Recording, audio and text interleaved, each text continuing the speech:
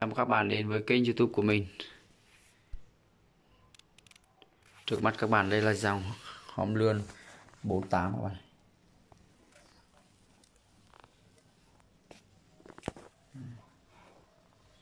Hòm 7 lươn 48 Còn bên này là hòm 60 các bạn này. Máy cùi bắp nên là quay nó cứ giật giật giật giật như thế nào. Chắc phải đầu tư cái máy cho nó ngon. Đấy hôm 48 hôm 60 các bạn nhé. Mùa này mùa lươn các bạn nhé. Mùa lươn đồng và mùa lươn ao các bạn nhé. À, các bạn này xem rất là bền rất là chắc chắn các bạn nhé.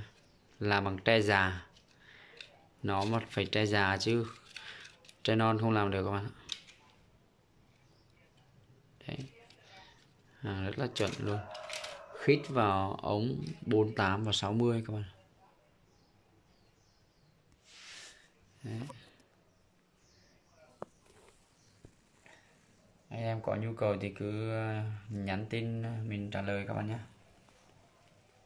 Xin chào các bạn, hẹn gặp lại.